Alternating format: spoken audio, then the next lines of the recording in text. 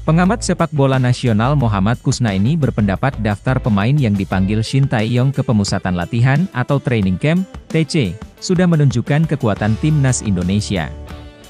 Namun, Kusnaini masih melihat kelemahan skuad Garuda. Materi, pemain, yang dimiliki ST terbilang kuat, tetapi minus pemain nomor 9 atau striker yang belum ada performa signifikan, kata Kusna ini kepada cnnindonesia.com, Selasa, 19 Desember 2023. ST memanggil 29 nama untuk TC Timnas Indonesia di Turki. Dari daftar panggil itu, ada lima pemain untuk mengisi pos lini depan. Mereka adalah Hoki Caraka, Ramadan Sananta, Dendi Sulistiawan, Dimas Derajat, dan Rafael Struik. Tidak menutup kemungkinan dari lima pemain itu akan berkurang karena skuad Piala Asia 2023-2024 hanya diizinkan sebanyak 23 pemain. Melihat situasi itu, Kusna ini berharap ST bisa membuat pemain di sektor lain untuk membantu lini depan skuad Garuda. Materi yang dimiliki seperti di lini belakang sudah kuat. Itu membuat kita bisa bersaing nanti di Piala Asia. Tinggal bagaimana lini tengah dapat kombinasi yang tepat dan lini depan bisa konsisten cetak gol, ucap Kusna ini. Di satu sisi pemain lokal juga lagi turun. Dendi masih cenderung menurun, Hoki naik turun dan lain-lain. Makanya STY memanggil pemain yang itu-itu saja karena tidak ada striker yang bisa jadi alternatif, ia menambahkan. Timnas Indonesia akan memulai TC pada 20 Desember hingga 6 Januari mendatang. Selama di Turki, ada dua pertandingan uji coba melawan Libya pada 2 dan 5 Januari. Karena itu, Asnawi Mangkualam dan kawan-kawan punya waktu kurang lebih 10 hari untuk menjalani program latihan sebelum menghadapi Libya di partai uji coba.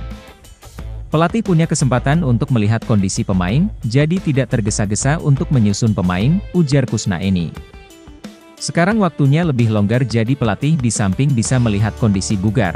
Pelatih juga bisa mengetahui siapa yang main utama dan yang jadi cadangan. Jadi ini hal yang mahal sebagai pelatih, tutur Kusna ini menambahkan.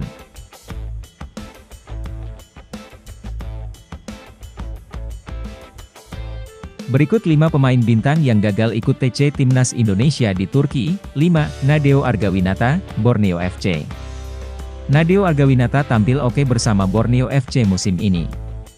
Dari 23 pertandingan di Liga 1 1 2023 hingga 2024, gawang Nadeo hanya kemasukan 16 gol.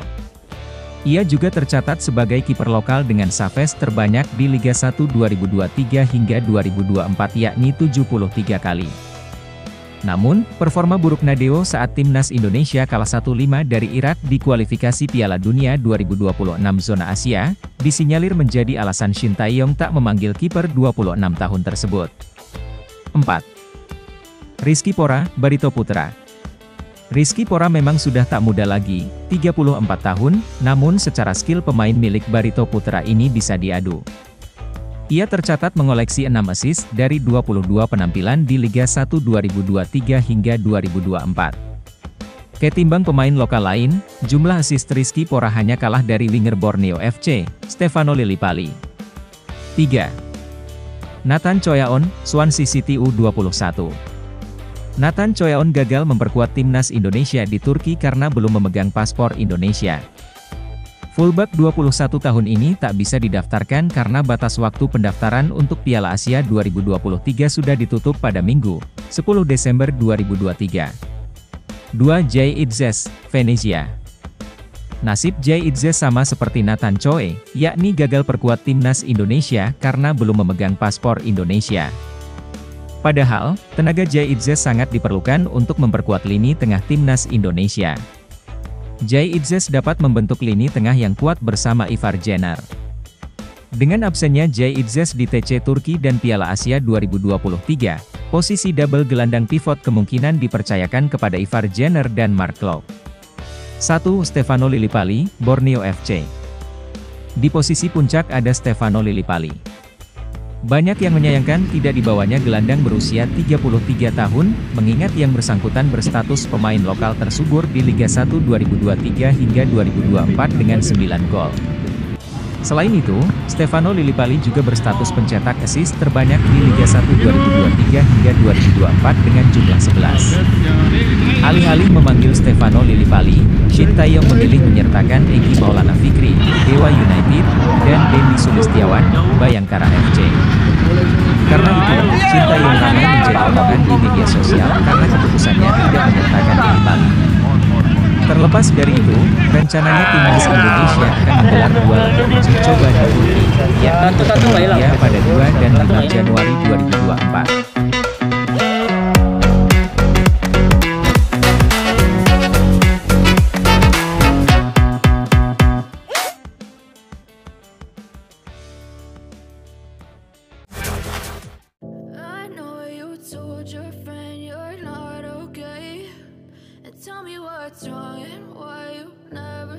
Legenda Belanda yang juga merupakan kapten di Piala Dunia 2010, Giovanni van Bronckhorst, mendukung penuh program naturalisasi yang dilakukan Timnas Indonesia.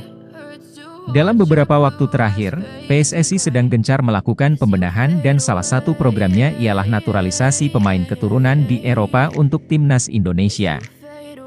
Pemain naturalisasi itu diharapkan bisa mendongkrak prestasi timnas Indonesia di level internasional dan kini progres mereka dinilai cukup positif.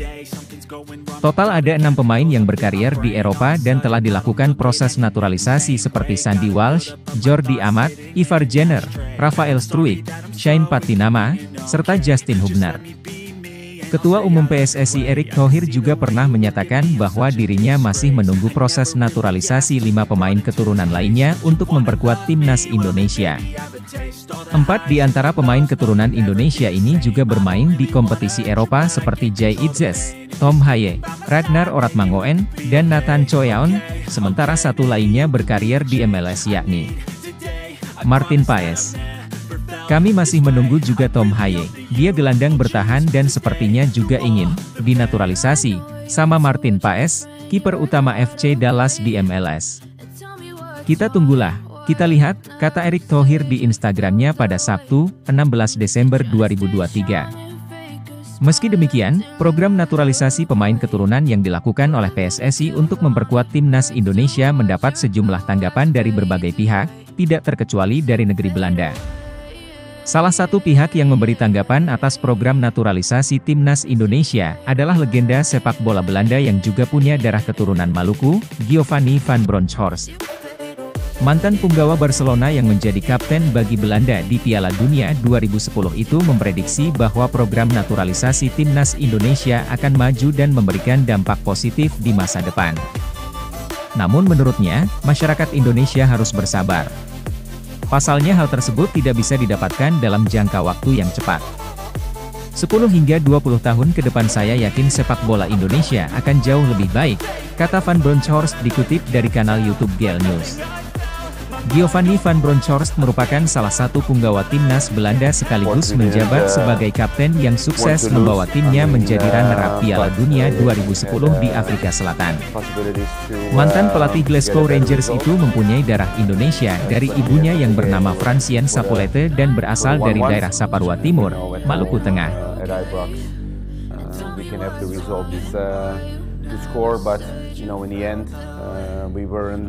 watch.